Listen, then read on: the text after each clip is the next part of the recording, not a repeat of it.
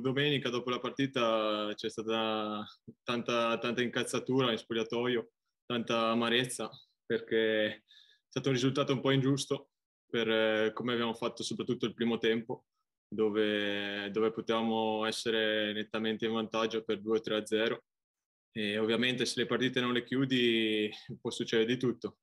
È successo l'impensabile, che loro sono riusciti a portarla a casa. Ovviamente adesso noi non dobbiamo disperarci, dobbiamo continuare ad ascoltare il mister e continuare a, ad allenarci come ci stiamo allenando e portare avanti le idee del mister e, e continuare così insomma. Comunque partita dopo partita stiamo in crescendo quindi siamo fiduciosi. Eh, le due reti, una è, la, la, prima è partita dal rinvio del loro portiere che l'ha allargata al, al quinto e là potevamo mettere un po' di pressione, potevamo stare più alti. Poi il quinto ha, ha spazzato una palla incredibile e è arrivata a fatalità al limite dell'aria dove là si poteva proteggere il portiere che era in uscita e, e dopo è andato a saltare con l'attac- l'attaccante loro è andato a saltare col portiere.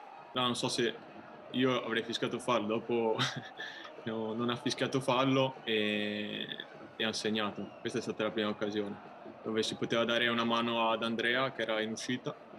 E il secondo gol invece c'è stato un cambio gioco dove il loro, il loro quinto ha saltato il nostro terzino sull'uno contro uno e, e, dopo in aria non siamo riusciti a chiudere sui loro attaccanti. Insomma. Negli ultimi due anni ho avuto degli infortuni, soprattutto a inizio anno, che mi hanno compromesso la prima parte di stagione e e è dura dopo riprendere, riprendere da zero. E adesso mi tocco, però per ora, per ora non, fisicamente, fisicamente sto bene. Ho lavorato anche molto quest'estate per prevenire questi infortuni, rinforzando la muscolatura. E per ora sto bene, ripeto, e spero di continuare così. Certo, la continuità, la continuità ti, ti dà tanto. È una, è una situazione, una lettura dove ti ripeto eh, si poteva dare anche noi, noi, della linea difensiva potevamo dare una mano.